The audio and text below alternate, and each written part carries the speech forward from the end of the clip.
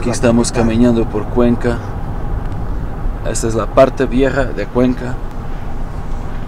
¿Sí? Sí, el sector del Vado. Sector del Vado. Ahí pasa un río muy bonito. Cuenca es hermoso, una hermosa ciudad. Me está gustando mucho ya. A ver que cuando me puedo cambiar acá. Ahorita vemos de día esto. Aquí es la universidad.